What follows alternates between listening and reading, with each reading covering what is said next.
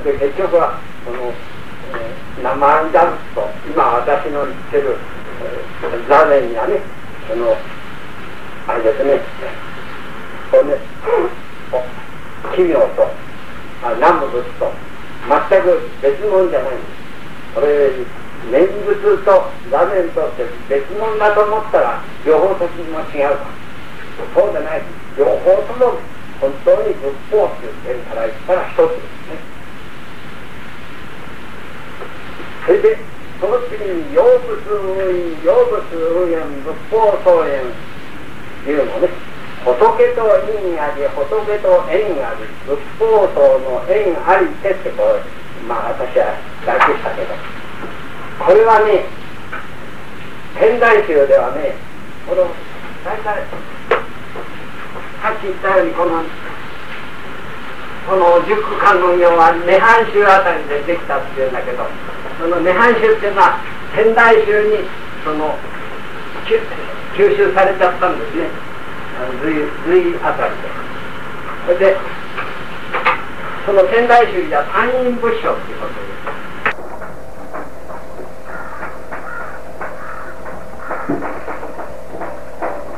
この三人仏性の話があの涅槃用の一部本に出てくるのがあれですが一番初めに教員仏性病院仏性永遠仏性こういう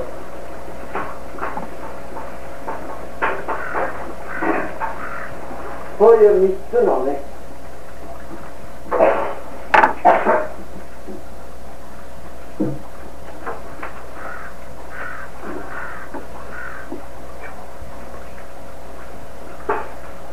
成仏すべき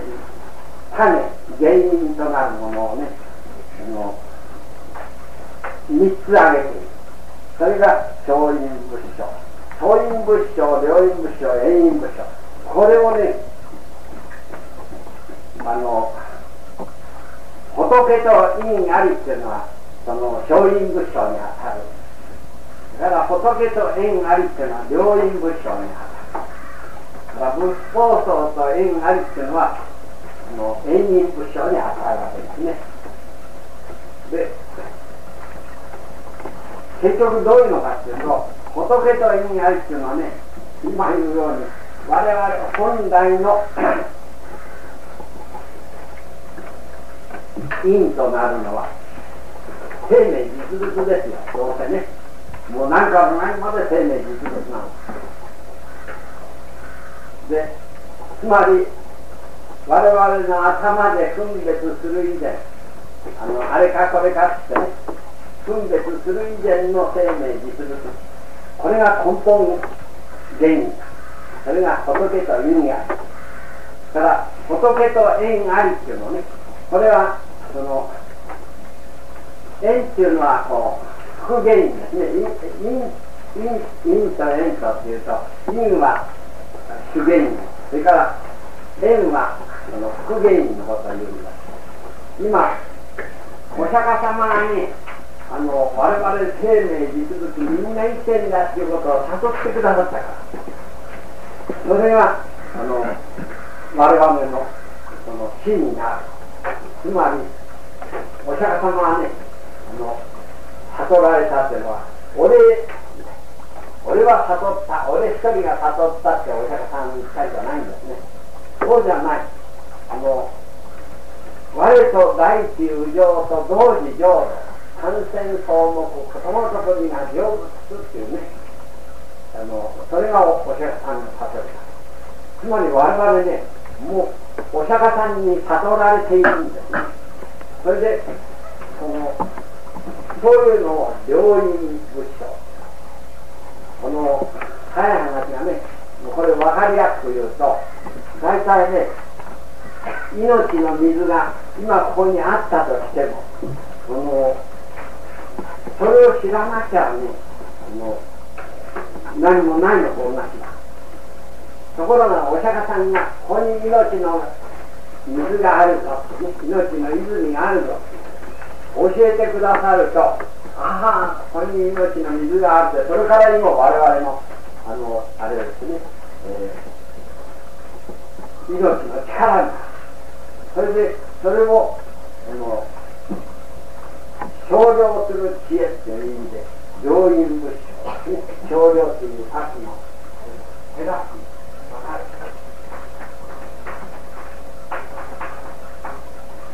少量する元だからさっきも言ったけど我々人間頭働かすのはあのそういう意味で頭働かさなきゃダメだ。さっき言ったでしょ。下手な頭働かさないともう大切なのは本当に我々はかる以上の頭で分かるっていう以上のところに本当の生命があるんだっていうことを分からないそれでそれが病人仏教でこれが仏と因縁あり。仏さんと仏さんとまず因を持ちそれから仏さんと縁を持ちそしてね今度仏法僧の縁があればこそ今度そういう命の水を今ここで仰ぎ出す。それでこれが仏法僧と縁ありという縁人仏教ですね。縁人仏教っていうのはねそのあれです。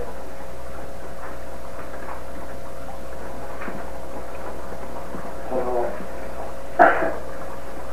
病院を病院って今のこの病院を援助して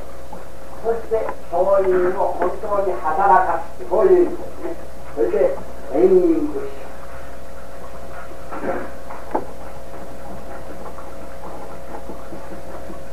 それで結局ねところがね仏法僧っていうのは仏法僧っていうのは仏の宝法の宝法の宝これこれで三宝っていうこの今の日本人の人情から言うと仏の宝はまあ法の宝も分かる。しかし法の宝はどんなもんですかな。そうそういう気持ちがあると思うね。その気持ち私もよく分かるっていうのは実際に今までのものがあんまりろくなことやってない。それだから法の宝っていうのにはちょっとああいう先に見えるんですね。しかしながらその本当にね仏法方法ですね。を本当に働かせるのは方法でなくてそれで過度のね参謀総合がですね、えー、あんまりうまくよく働いていないからといってそれだからまあこれからもダメだっていうそういうふうに発想するのはねあのいやぐずってるあの子供ガキの発想だそうでない。過去のものなん過去の坊さんたちダメだからってそれじゃ俺やってるやるぞってそういうその、えー、意気がなきゃダメだね今の坊さん過去の坊さんがダメだから俺もダメだっていうそういう人も多いんでねそれでダメだ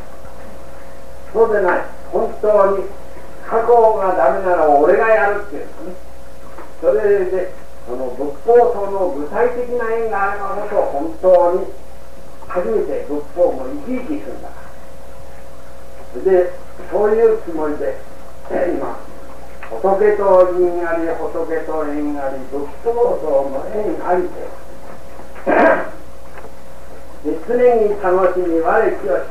この常に楽しみ我きよし本当はね上楽座行っていうの本当に訳すんだったら行なり楽なりがなり上なりって訳すべきだと思うんだけれどしかし今私があの常に楽しみ我きよしっていうのはねあの今そういう生命の実物を今ここで生き生きと働かす仰ぎ出すぞっていうねそういう気持ちを言いたいんで今あえてすでに楽しみ我きよしってことを訳した訳したって読みます大体あの例えばね、えー、皆さんあの普通に聞いてんだったら仏教は無常を教えろ教えでしょってまあ大概そう言うから大体少女仏教の人たちねがもう世の中は無常である。世の中は苦しみである。世の中は我というものはない。世の中は不浄である。まあそういうふうに言うのがまあ普通だねそして事実皆さんの普通の耳に入っているのもそういう言葉ですところがねそれはね仏教が無常であるっていうのを教えるあの言うのはね普通はみんな世間の人は何でもかんでも常にあるもんだと思思い込みすぎてるからそういうことに対して無常であるっていうんですね。例えば今これだけお金貯めておきゃもう大丈夫とこう思ってるじゃない。これは世の中無常でこのお金貯めちゃってもしっかりお金を握っていてもずっとこのお金そのものの価値がなくなっちゃうんだね。面白いね。これお金握っててさ。お金握ってて離さないぞっていうのをお金がずっとなくなっちゃう例えば今まあ1000万円ぐらいその隠居費用に持ってたらいいもんかってこう思ってんだけどその1000万円が1000万円なの。だけどそのスーッとなくなっちゃってその1000万円が1000万円として通用しなくなるんだから。面白いね。相場そのものが変わっちゃって。たもうそのうちにあんたタバコ一つ買うのに1000万円かかんななんだこれ1000万円にせたっていうのはタバコ一つにせたっていう。そういうこともあるね。だからまあ我が子さえあの育てをしておきゃって言ってね言ってるその我が子がお気の毒ですドラムでドラムで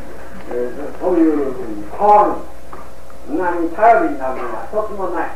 そういうことを教えるために世の中は無常である。それからみんな世の中もう楽しいとこだと思ってさでもってこのこのあのまあこっち金さんとこ厄介になってる間だけでも精一杯テレビでも見とこう普段テレビ見てない。テレビがもう目覚まししょうがないこれで一生懸命になって見てほんとまあテレビってのはしょっちゅうなんだあのあれ音楽やりだすとこう当てたら顔が飛んだねあれのバカなあれだいかにも楽しげにやってきてる本当は苦しみだ本当にそのあれですね小鳥が春咲いずってるんですね。いかにも楽しいって言って何お経の言葉にやれば類で苦悩の声。これはあれ小鳥が一生懸命縛りがついてついてやってるって言ってもで生活生活のテリトリーを守るために必死になってやってるからね。あれ類です。苦悩の声。それでそれはねみんなね楽しいんだか苦しいんだかわかわからないんですね。で、みんな楽しいと思ってから世の中は苦しみである。だからがなり行内っていうのはね俺ってものが決まってあるとこう思ってる。それに対してはこういう決まった俺ってものないんですよってことを言うのは無駄ですね。それから行内ってもうあれだきれいだと思ってるけど本当はがないんだっていうようなねこれで結局あの小普通仏教の皆さんのお耳に入っているのはそういう意味の無常苦無が不浄のあの話が入っている。だけど本当の仏法の話としてはそのいずれでもその、えー、あれですね常常と無常とってね対立二つに分かれてる話はね仏法の話じゃないんだそれから苦と楽とってね二つになってる話は仏法じゃないんだでそのが、無が、これこれも二つになる。上、不上とこれも二つに二つになってるのはいずれも仏法や。ほいで大切なのは二つに分かれる以前。無常と上と、あの、超えてるもん。この生命実物ってのは、上無常を超えてるんだ。息してるって言って、息してる時は息してる。それが生命実物。息が途絶えた、途絶えたのは生命実物だ。これはもう生命実物っていうのは、もう動きようのない、上不上を超えたもの。もう出入りなし。それで、こういう上不上を超えたものっていうのが心情だ。心情っていうのはこれ。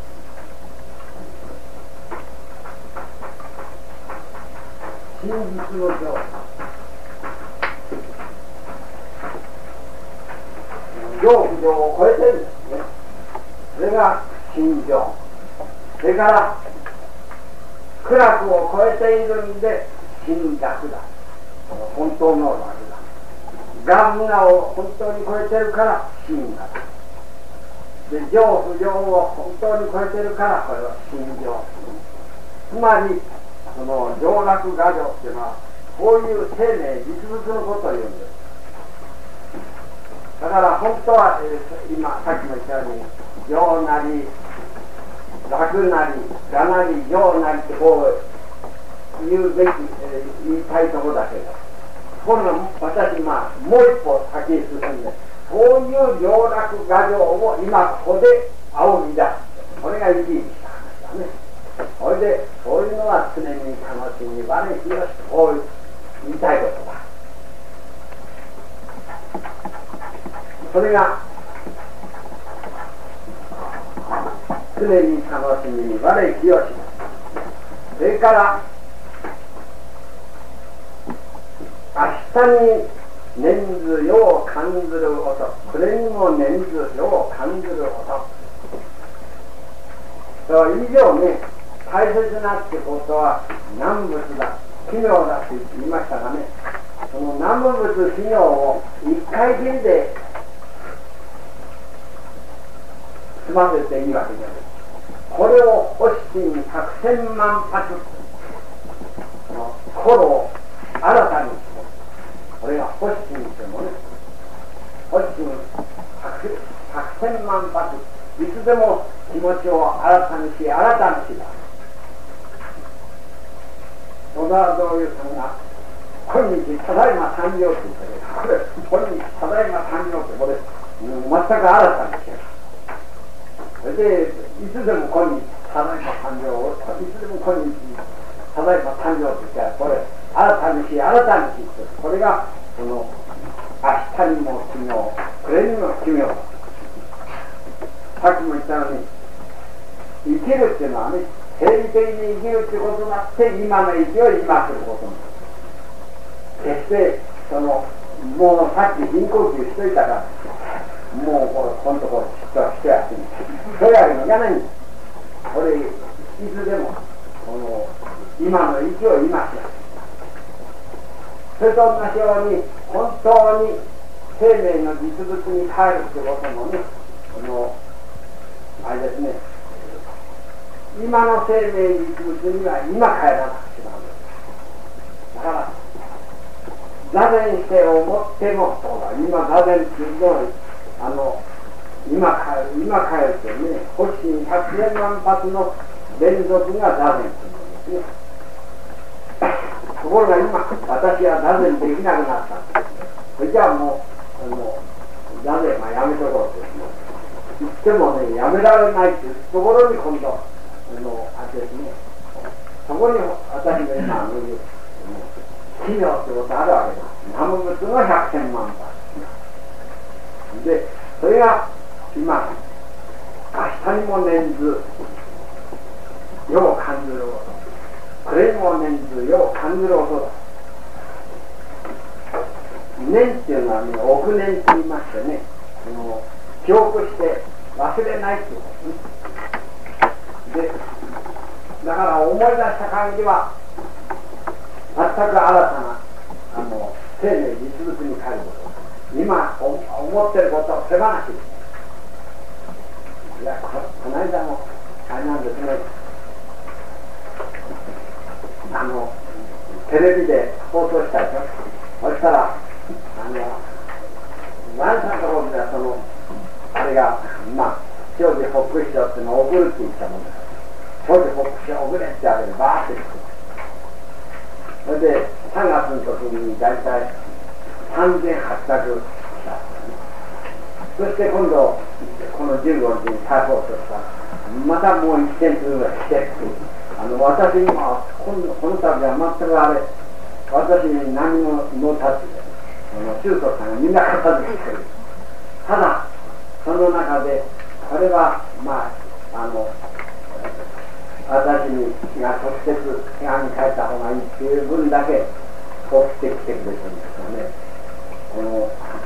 この間も、まあ、その中にあの3つばかり中国さんから送ってきてそれ見てるうちに一つこんなのがあったねもうあれは驚いたなもう清水さんにも見てたら清水さんもびっくりして三代にわたるね親親の代とか自分たちの代それからその子供の代のね三代にわたっての一家の系譜がざーっとこう書い。てあるんだねそしてそのあれに、えー、そのだから細々とこうあれ四五十人の系譜が書いてあるそしてこれの中のこれはどうしましょうこうしましょうでそれに対してねこれまあ返事うまく話さないんだけど。これ結局よく読んでみるとこの人あの長女なんですね。で長女で若い時にお父さんお母さんに亡くしてるそうすると長女っていうのは親側になって一家のこう面倒をの見てきてるそれの続きで今その人は60いくつ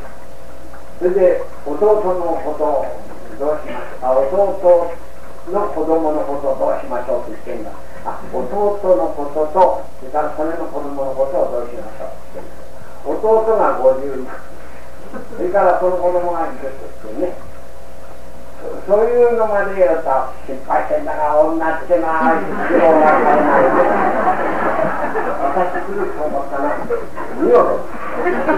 そして、結局の私は手紙に書いたのね。の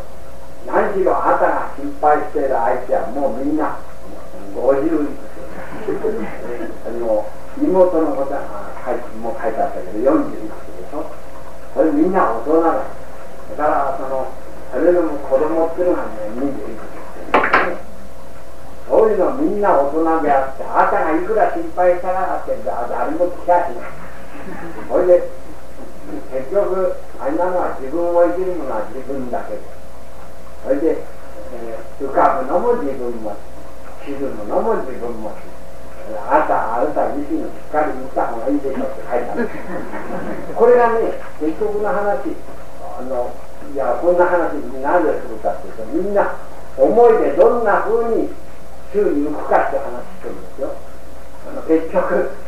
この人にとっちゃあの本当の実物見て弟の弟と弟の子供はこんなになってるんだって言ってこれ実物だと思ってます。ところがそうでないんですそんなねの相手は子供ならねの2つや3つの子供ならこれは失敗してやんなきゃなもう50にもなった。それまでこう心配するっていうのはこれはもう宙に浮いてんそれで結局の話その宙に浮いたあれを手放してそして本当の実物に立ち返るというのはねその2つに分かれる以前の実物に立ち返るというのは私自身に変えることです私自身がしっかり生きだからダメだそれで何も人のことを心配するより私自身のことを心配しない。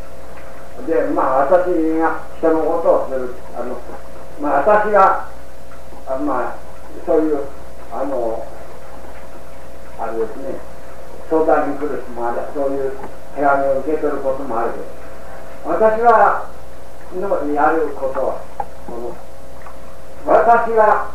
そういう悩みを聞いた限り問題だね。それは私自身の問題だ。どう？どういうこういう時にはどう私が対処するか。私自身の問題として。で私が私自身に向かってただ独り言それでそれをあなたが聞いてどう思うかそれはわからない。今私もこうやって一生懸命喋ってるけど何私は私自身だけ喋って。るそれでそれを聞いてあなたがどう受け取るかそれはわからない。それでただこう私自身だけって言ってその、えー、人が何かあの問題もあの悩みでも持ってきて何か話してるそれは私に神のねえことで。そういうね自分じゃ。そそれだったら全く単なる期間さっき書いた期間の指示だけだ。そうだな今感知して映ってきた限りは私がまたあのこの場合どうあるべきかとして自由運転しないそういうことですね。で結局ねその大切なのはこの世を感じる音だ。この世を感じるあのさっきあの初めの時は手を感じてってこう読んだけれど。今私の場合あのこの場合では世を感じる音これはまあ私の読み方。もう事実今どうしましょうどうしましょうって頭掴んでるねこれを掴んでる。それをねナムっていうことによって そのナムって音を立てることによってこの、えー、今座禅の場合は身構えでその頭手放ししてるんですね。頭手放ししようと思って手放ししてるんじゃない。その座禅が座禅っていう姿勢を守るっていう座禅という姿勢は頭手放しの姿勢なんです。これ守って体でやってる。ところが今この座禅できなくなって南無っていう時には南無っていう音を立てることによって頭の中で音を立てるんですよ。南無阿弥陀仏とか南無漢字の菩薩とかって頭頭で一生懸命思いを追うそのあれを南無ということによって転換しちゃうねそれでいやこれ早い話がそのキリスト教だったら歌歌うじゃない賛美歌あ賛美歌を歌うことによってその転換するのね。それで当時の賛美歌だって何も世を感じる音だ。いやこれねキリスト教だ仏教だっても宗教の合意っていう点からしたらちっとも変わらないんですよ。そういう観点から見なきゃ本当の宗教はそれで 結局ねこれが今南南とねから情報現像国家天保家の巻に紙を取りまた紙を取るって書いあるねこの骨子に出家っていうことは非常に、えー、尊いことになるしかしながら一遍だけ紙を取りゃいいってもんじゃない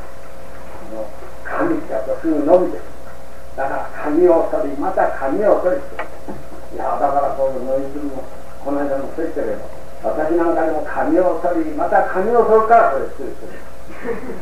俺もし髪取らなかったらざっくり緑の黒髪それでこの墓地に百千万発ってこれは大切これもね明日にも念ず世を感じる音これにも念ず世を感じる音それをまた仏教では体に木者とも言う体に木者っていうのは別々下だこれやっぽだけやったそれでもうまた道元で見ると首相一年で症状の種これ決してねその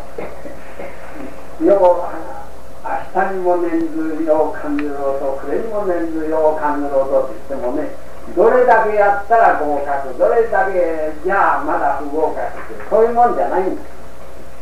さっきも言ったようにあの図書いたに全部それぞれに出せこれ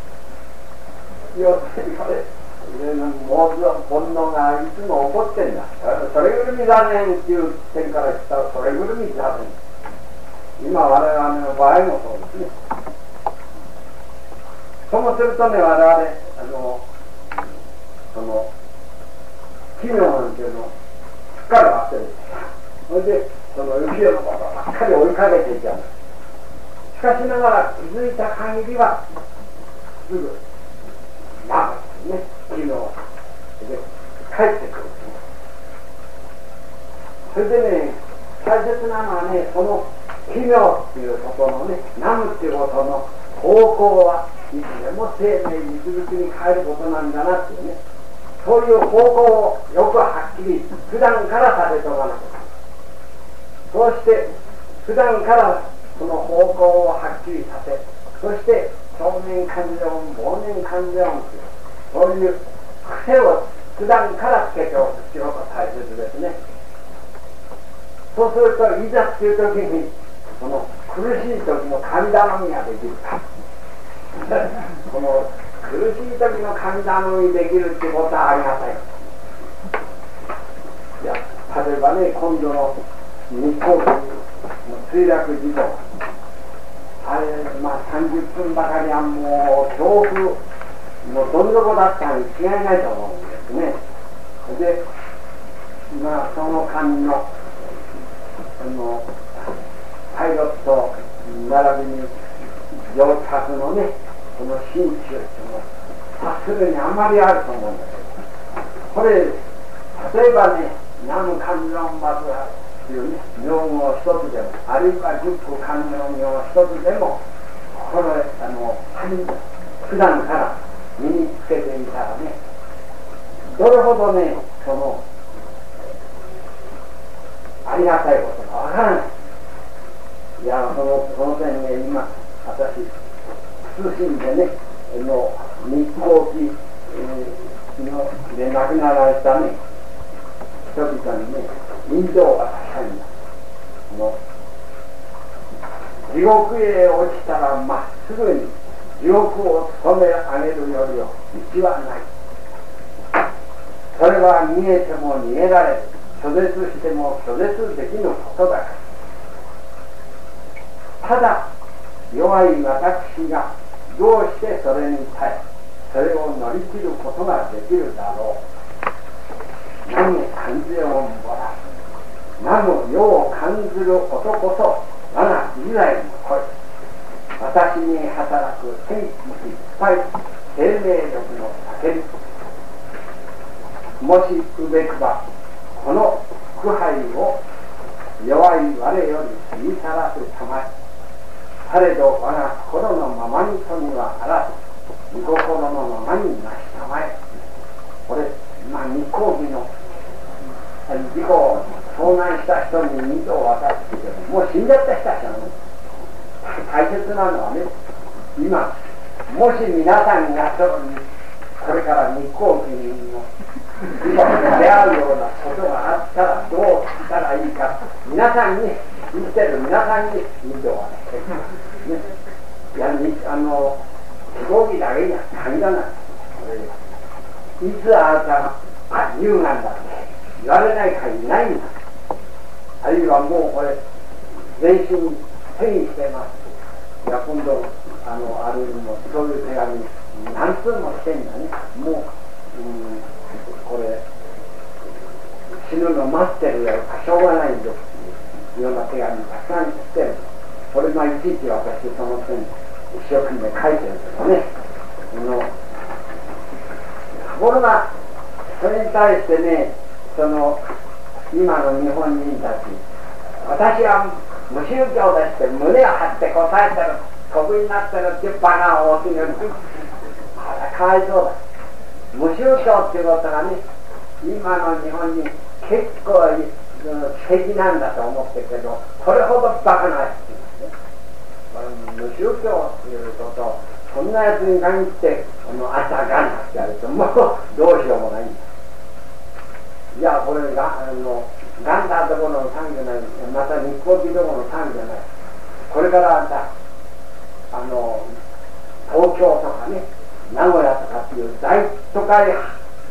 範囲でもって地震一つグラグラってくとは思った。あれまああの火がどうせ大火災が起こるに決まってんそうしたら あの日光期ぐらいの小範囲のあれじゃすみませんよ。その時に「あ東京で住まなきゃよかった」って言ったってダメなの。本当にねもうそういう時にどうしたらいいかってね何回も分かってね唱えるっていうこと。あるいはあの神を南部しようとにようとよね仏法の遠慮ががようとね何をもね何をねねねねねね不思議ってね低め唱えるっていうこれが救いです、そういうね苦しい時の神頼みを今あの普段からその身につけていないとダメだ。でいやこれ決して他人事じゃないんで、ね、私自身ね本当はさおととしこういったあげくのあのあれだったり大活躍した。またまた去年の秋大活躍した。今年は早々とその春。まあこれは正体。どうもこれ七十あこの前あの私あれなんだね安泰の隠居ももう早々としなきゃあの少し繰り上がっちゃったから今私のもうもう一遍の隠居ももうちょっと繰り上がらなくちゃならないかと思ってね。そういうところか一昨年あたりから私の健康そのものがもうあの日光日じゃないけどフラフラ気候それでいつどこへ飛ぶかわからない危機感でこの危機感持ってる時にまあ私はおかみさんとまあ一生懸命この,、えこのリップ観音も50年食べてんだからねそれでまあまあ俺はこれでいくってでこだからね何よりそういう時に治療する方向を知っておくとね。ナムナムっていうことですね。一生南仏、会議業物何でも南仏ですね。だから治療する仕方だ。このつまり南無よう感じる音って言って頭手放してその南無よう感じる音させるのね。そしてそういう機能する癖をつけておく。これがこの仏法総演ですよ。早い話があったんですまあこういう話でも私っていうねあの、えー、あの総合総合と縁があったから言うまあそう思ってそしてそれが本当に生き生きとそのあれなんでそれを上楽画上それでそれをそれというのも年々命より生かされて年々命を離れるゆえにこの年々有志き年々風流心この仏教で心っていう場合ね大体普通は今今時はみんな心理学的な心そういうものを考えてるね。だけれど仏教の場合はそういう心理学的心である場合もあるけれど災害の場合はその命と言った方が当たって命と言ってもその生理的命じゃなくて今言うその生命実物ですね。2つに分かれる以前の生命つまり当然される真というのが真に逮捕逮捕一心これが一方で真の正義だ要するに命ぐるみの一体だどんなものでも命ぐるみなんですそれと同時に一体ぐるみの命ぐるみだねでこういう生命実物二つに分かれる以前の生命実物それを我々は思っても思わなくても信じても信じなくても受け入れても区別しても日々刻々こういう命を生きてる。されているそして命を離れることはない私の、まあ、今度のその、えー、詩集で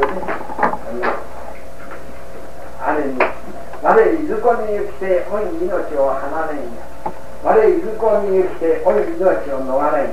「我悩めんと言いつつもなおおい命を信じたい」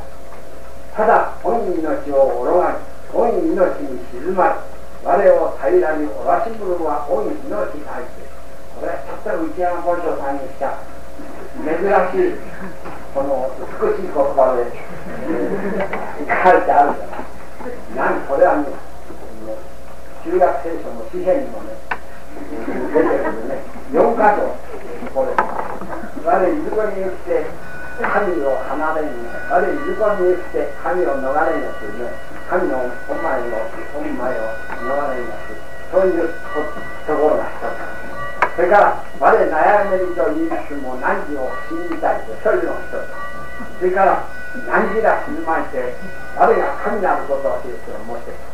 それから我を平らにおらしむのは何時何時そういう4つの箇所に出てるこの旧約聖書の詩篇ですね私そういう言葉好きだからこう聞いてそれをこうちょっとこう一つにまとめただけ。それで教義は人間の恩に命があるけれども神の神とか何とかっていう言葉の代わりに恩に命って書いたら結構私の死になっちゃった。だからちょっとこれあの私にはファーチューない事英語だつまりねこれ私が言いたいのはユダこの旧約聖書っていうのはユダヤ教の聖書だったがまたキリスト教の聖書ですだからユダヤ教の人もそれからキリスト教の人もそれからまた仏教のから見ても一番大切なのは結局これなんですね要するに年々命より生かされ年々命を離れるゆえにだ俺も俺まあ新州のお念仏で言ってもそう。阿弥陀さんにあの抱かれて阿弥陀さんから来いよ来いよという招かれてるだからこれ命に落ち着くんだこれみんなで宗教っていうものをねこの宗教っていうと今普通信仰ご利益の信仰宗教とかねあるいは宗派の話ばっかり言ってそんなのはね本当の意味では宗教じゃないんだってよくしておいてくださいそうでない本当の宗教ってのはあたかた自分自身の命の話だで私は私自身の命の話そうい。う宗教ねそういう宗教を本当にあの目向けた時ユダヤ教もキリスト教も仏教もだから座禅も念仏もみんな一つ同じこと言ってるそのことですね。だから法華経では十方仏土地をゆい以上もう何から何まで仏の多いのだから仏の恩命どっちへどう転んでも仏の恩命ぐるみで不幸は事実我々次の瞬間どうなるか分からずこんなあの飛行機に限らずそんなにこの飛行機に乗らなくても自動車一つでどんな目にあるか分かんないその時にこの結局このどっちへどう転んでも老い命っていうね生命の深さに深まっていくっていうこれ以外ないのということはねそれでその仏と因あり仏と縁あり仏法僧と縁あってってことをねまずありがたく思ってで常に楽しみ我よしいよいよ生き生きと南無仏を深めていくこのまああの人工観音でもね、えの話聞かれてそのどうかね皆さんの実際生活においてねこれから本当に苦しい時もどうせねしょっちゅうあれずっと忘れちゃうと思うんだ。またね働かまあ本当にこれ私もこう事実こう自分のせあの体の危機感感じてきて本当にナムナムって言ってるけどね。まああなたも入る時には当然ナムナム言っちゃいられないと思う。それでもそういうことを知っておいていざ苦しい時の患者時の狙いとその奇妙の仕方とそれからそういう癖をつけておくということねこれやっていていただきたいと思うんですね。まあ今日の